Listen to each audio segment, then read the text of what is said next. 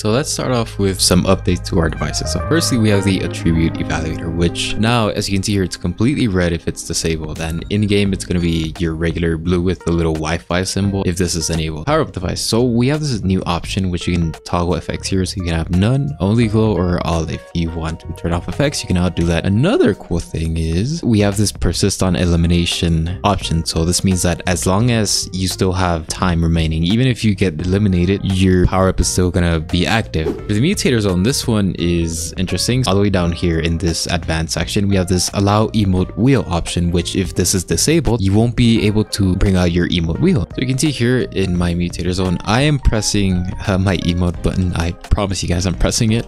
Go out of the range here. You can see now I can emote again. But then if I go in here, suddenly I can't emote. So next up is this collectible gallery thing, which now what you can do is set a custom color. And what that does is just changes the glow of the color so you can change it to red, blue, whatever color you want here. They've also added the ability to play a custom Niagara effect when you actually collect this collectible things. Next up, this Prop-O-Matic. So this one's interesting. You can now change the animation duration. So how long it takes for you to transition from being a player to disguising yourself as a prop. So here it is with 10 seconds. If I try to convert into Peely, I convert into Peely at a very slow pace and I'm shrinking. So another cool thing, and this is a really cool change, you can now filter out who can enter or be blocked by this barrier. So if you go into the barrier device here, and this is all in Creative 1.0 by the way as well, you can go down here. Down here, there's this, well, there's two things. One, there's this ignore team, so you can ignore a whole team of players, and you can ignore a whole class of players. So you can do that, and that's gonna allow them to walk through the barrier. What you can also do for even more control is add a player to an ignore list. So I have this button, which is gonna add me to the ignored list. And then what you can do after is you can remove that player from the ignored list and now they're going to be blocked from entering the barrier again.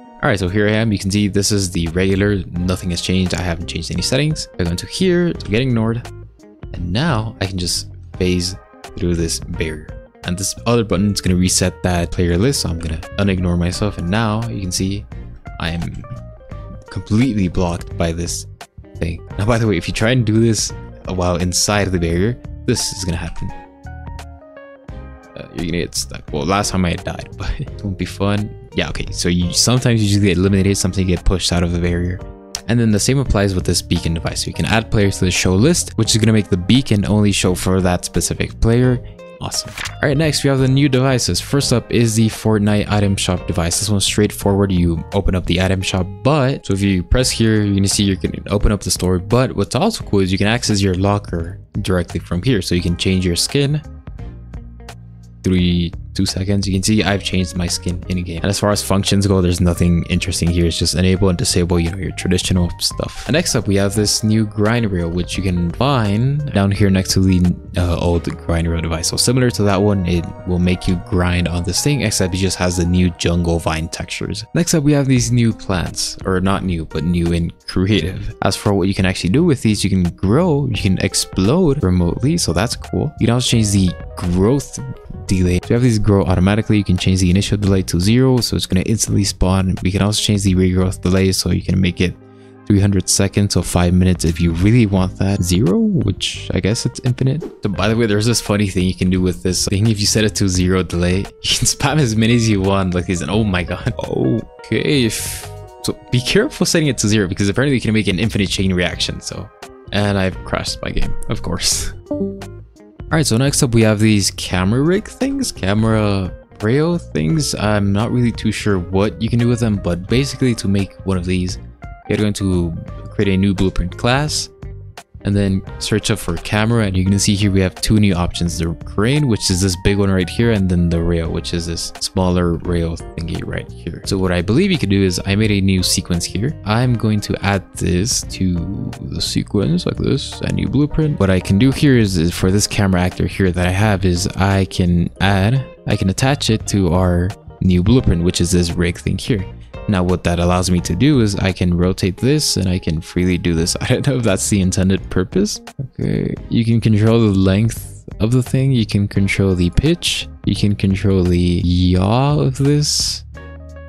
So the rotation basically you can move this around and you can see my camera sort of moves around along with it and then you can lengthen it so super wide and long and then retract it and then obviously you can change the this which you're gonna make your camera spin around as far as other changes goes we have new jungle props so you search up jungle we now have these jungle props. You can drag out these statues, I guess, or this ancient thing. So if you want to make a booby trapped map with these jungle assets, you now do that. Additionally, if you into landscaping mode, you now have access to the landscaping jungle materials. You type in landscape, you can see here we have the new chapter for jungle. So really cool if you want to do that. But we have new verse. So let me start off simple with uh, some exciting stuff. So firstly, we have some, obviously the new stuff for the barrier and the beacon device you can do that now. And we also have the move to API for creative device. Now, don't mistake this for your regular creative devices. This is just for, as far as I can tell, just for your computer thing, this thing right here. So I'm going to show you guys that in a second. But we also have the teleport too. So you can now teleport these devices here. So the billboard, the barriers. So that's cool. You don't have to manually attach them to a prop like you would if you just want to teleport them there. Unfortunately, you still cannot use the move to with the with these devices. So annoying, but at least we can now teleport these devices wherever we want. So really this move to function is only for this computer thing. Okay, so when I press this button, you can see this computer move to me for some reason. I'm not sure.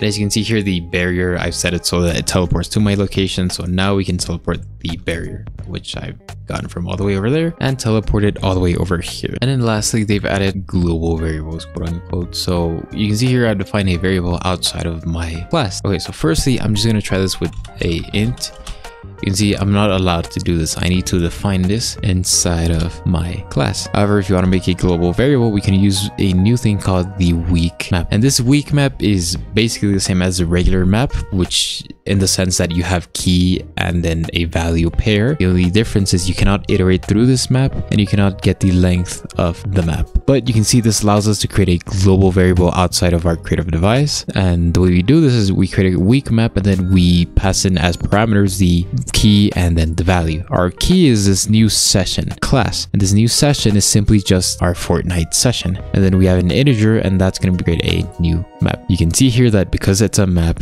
it's a failable expression to access the element, which I'm going to call x inside of the map. Now to actually get a session, you just pass in get session, which is going to retrieve the current session that we are currently in. And then that's going to retrieve the integer. So you can see here that if there is no current integer corresponding to our session, then we're just going to set the new integer to 900. But what's really cool is that in this other new device here, this has no affiliation. This has no reference to this other device here. You can see nowhere have I defined that, but I can still access the global variable right here and I can do global get session and that's just going to print out our new global variable. So that's how you want you would use new global variables without having to reference, you know, these devices between each other and just yeah, that's pretty much it for UEFN. As always, I hope this was helpful and yeah.